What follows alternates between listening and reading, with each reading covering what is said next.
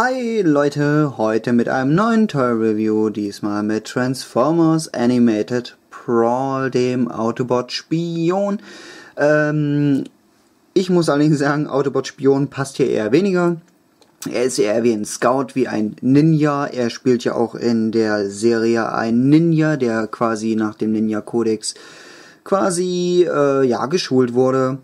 Ähm, diese Figur ist für meine Verhältnisse mit einer der schönsten Animated-Figuren überhaupt. Allerdings hat man hier die Bewaffnung sehr schlecht ausgewählt. Ähm, ich muss sagen, eine Traffic Light Chain Weapon. Äh, naja, das hätte man sich auch sparen können. Äh, nicht so schön. Hätte man jetzt hier noch irgendwas ausklappen können, ein Blaster oder wie auch immer. Ja, okay, aber nein. Überhaupt nicht. Äh, erstmal zur Seite. Die Figur selbst wird als schwarz-goldenes, sehr geiles Motorrad geliefert. Ähm, mit einer der schönsten Motorrad-Modes, die es eigentlich gibt. Also ich muss ganz ehrlich sagen, selbst ähm, Transformers Prime RC sieht dagegen ein wenig äh, alt aus. Hier ist wirklich jedes einzelne Teil perfekt ineinander greifend und auch arbeitend. Gefällt mir sehr. Hier unten mit einem kleinen, äh, ja, sehr kleinen, aber feinen äh, Motorradständer, der quasi direkt hier unten bündig quasi verstaut werden kann. Gefällt mir auch sehr gut. Ähm, oben hat die Figur ein blaues und ein rotes, ja, Blaulicht. Hust. ja, ähm, vorne mit einem Autobot-Symbol, damit man natürlich auch sieht, dass er zu den Autobots gehört. Und ansonsten natürlich, hier man sieht es noch, einen schönen äh, silbernen Tankdeckel. Ja, die Figur hat überall natürlich rote, äh, Quatsch, rote sag ich schon, goldene Verzierungen. Ja, ich werde schon mal farbenblind. Ja, ähm, durchsichtige Lichter vorne, leider ohne große nennenswerte Farbe dahinter. Dadurch gehen die ein bisschen unter im Fahrzeugmodus. Und die Frontscheibe ist natürlich dann auch durchsichtig. Hinten die, der Tachostand etc. ist schön ausgearbeitet.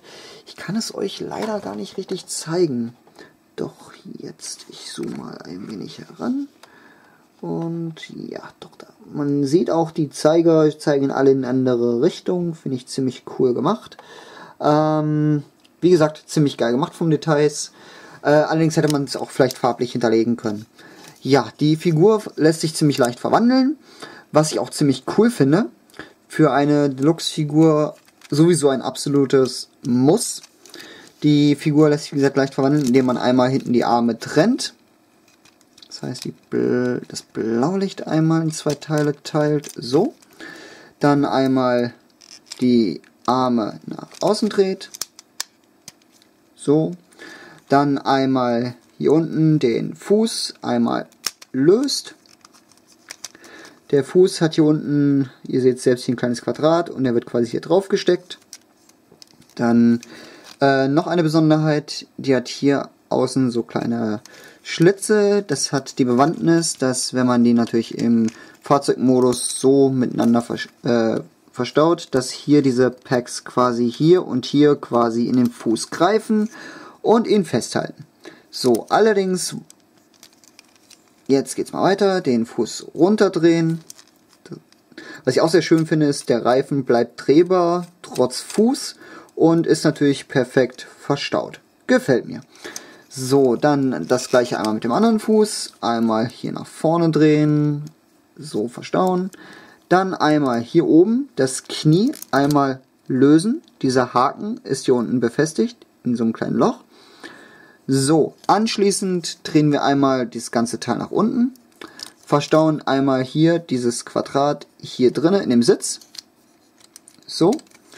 Drehen einmal das rum dass die Füße so rum, nee, nee, nee, so rum war schon richtig, genau.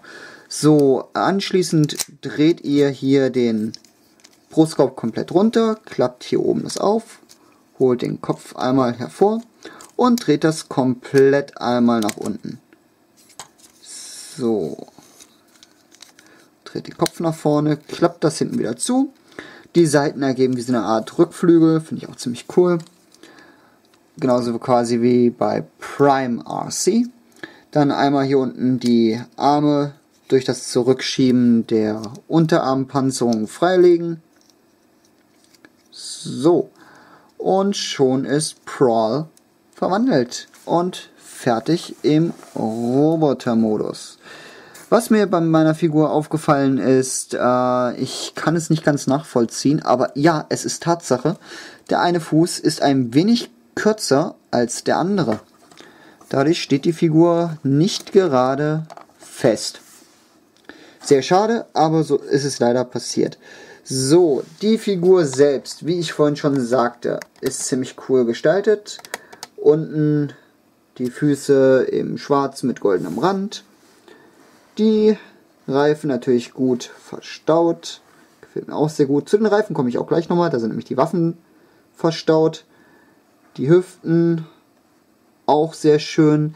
Was ich gut finde, ähm, diese Farbgebung passt perfekt zu der äh, Polizei in den USA. Das heißt, äh, auf dieser sogenannten Biker-Schwadron, die äh, Hüften sind da in einem Beige gehalten mit schwarzer Uniform. Passt perfekt zu den Polizisten. Finde ich cool, da er auch eigentlich ein Polizist ist.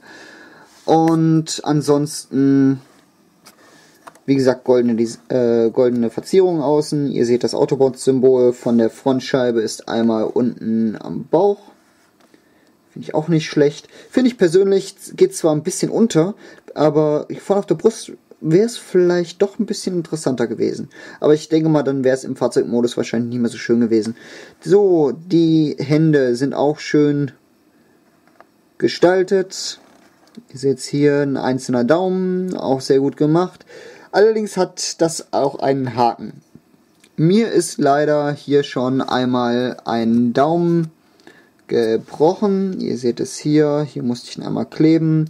Weil ich diesen, diese Waffe, die sogenannten Ninja-Sterne, ihm einfach nur in die Hand gegeben habe. Sehr schade, aber gut. Ähm, ist leider passiert. So, die Figur selbst hat natürlich auch so einen schön designten Kopf.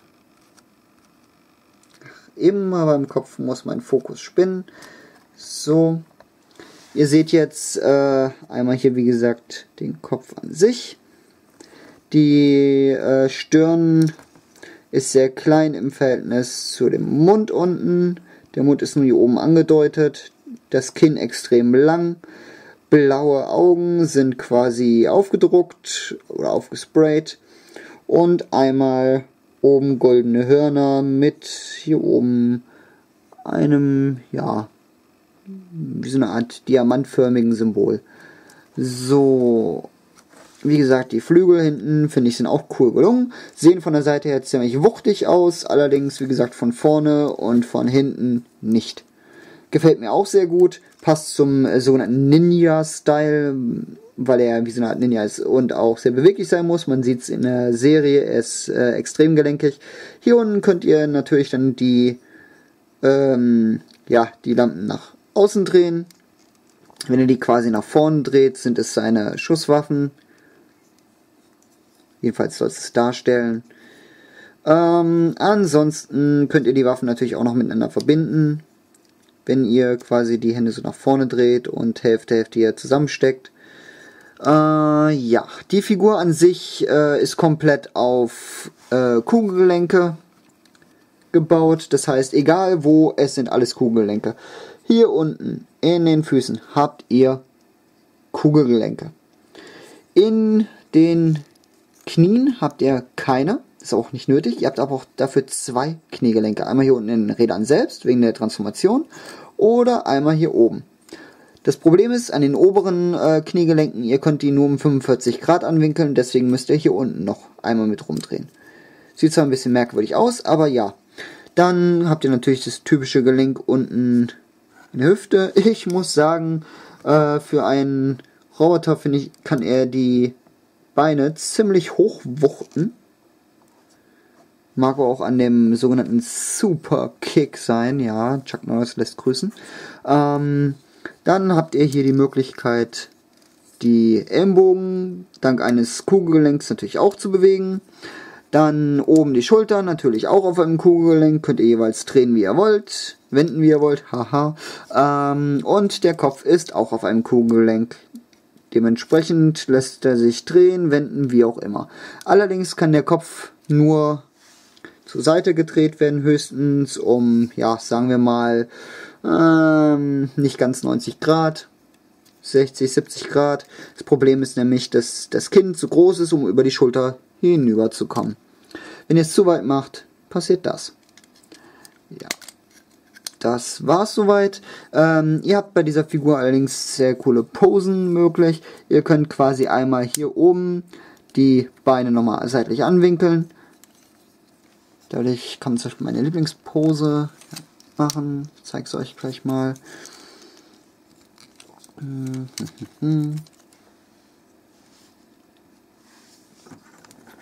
Zu 99% steht die Figur sogar richtig gut.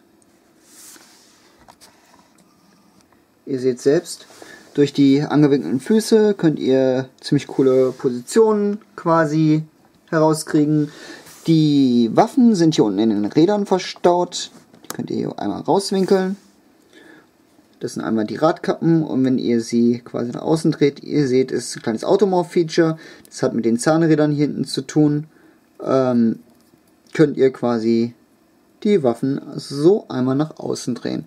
Die Waffen könnt ihr wie gesagt hier in die Hand geben, bitte nicht zu fest, ansonsten habt ihr das gleiche Problem, wie es bei mir der Fall war. Ihr brecht die Waffen ab.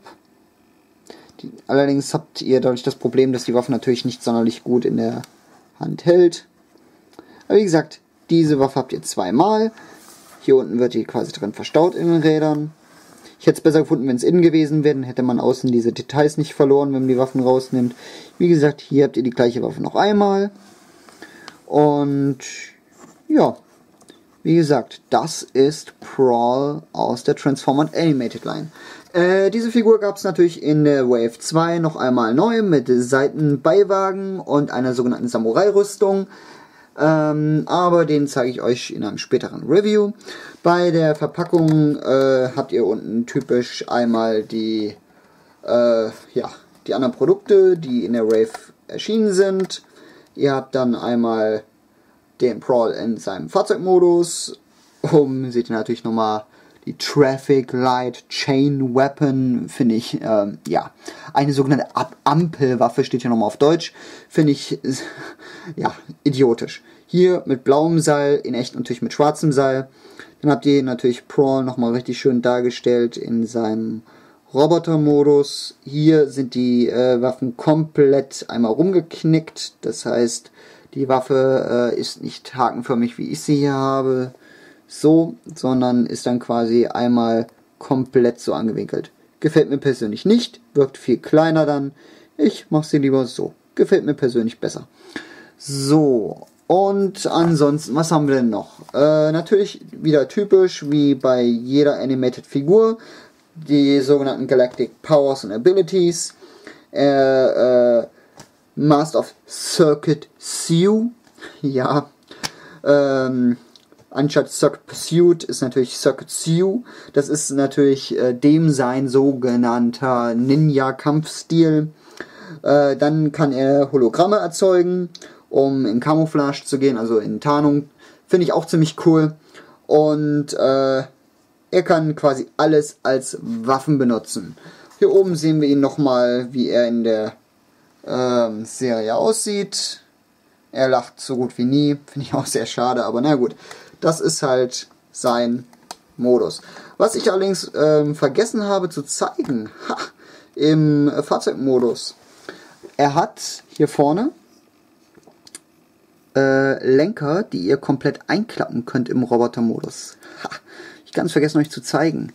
Ihr könnt das komplett außen klappen. Siehst du, dann hat ihr richtig hier die Lenker.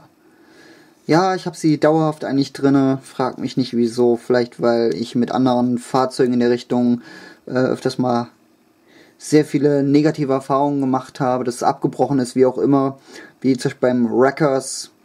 Allerdings gefällt mir die Figur sehr gut. Ich würde dieser Figur im Fahrzeugmodus sowie im Robotermodus volle 10 Punkte geben. Allerdings bin ich hier noch ein bisschen am überlegen, denn im Fahrzeugmodus würde ich vielleicht nur 9 Punkte geben.